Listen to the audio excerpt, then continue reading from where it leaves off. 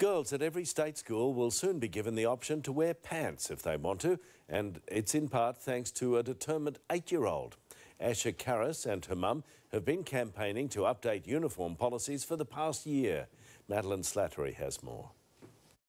They're the girls who literally wear the pants. I can go in the monkey bars and flip upside down a lot easier. Students at Macrob High School have been sporting trousers since the 90s. It's comfortable, but it's also because I ride my bike to school. While girls at Albert Park Primary opt for skorts. The skort is a nice compromise, but during winter there's no long pant option for girls. While most schools already allow female students to wear trousers or shorts, there's still some work to be done. On a preliminary analysis that we did, one in four um, public schools still don't offer the choice of pants and shorts um, all year round. Simone Carese formed Girls' Uniform Agenda when her eight year old daughter Asha was told she couldn't wear pants at her Catholic school. It's not just the boys' uniform, girls can wear it as well. When you put girls in dresses and skirts, they do exercise less. They do less steps than their, the boys. Simone started a petition which has attracted 21,000 signatures. Now the state government will ensure public primary and secondary schools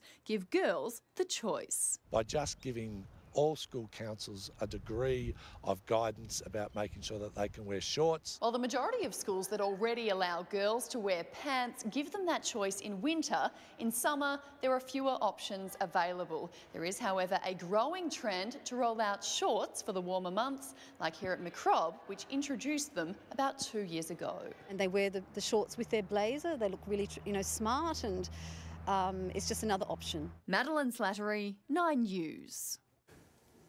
A grade two student who hated wearing a school dress has helped change Victorian law. From next year, girls at all government schools will be allowed to wear trousers and shorts instead.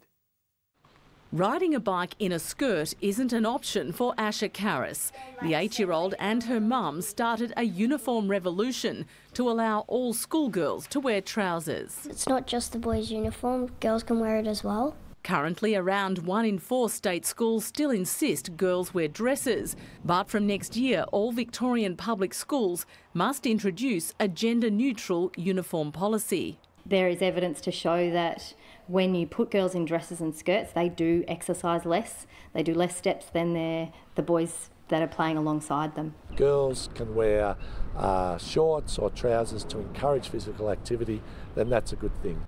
At the MacRobertson Girls High School, students have long been allowed to wear trousers. This is for me largely a practical choice, actually. A lot of schools that I've been to do have the skirt only policy, and we, we did find it quite limiting. While the majority of students here still wear dresses, the elite school is waiting for a big order of shorts to arrive next week and are confident that the new trend will catch on over summer.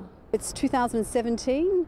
Uh, it's, we're living in contemporary times. Let's wear trousers or shorts. It's a non issue. Some independent schools have embraced the move, but many others are sticking to tradition, while one little girl simply applies the law of common sense. Pants are better, they're more comfortable, and you can run a bit faster.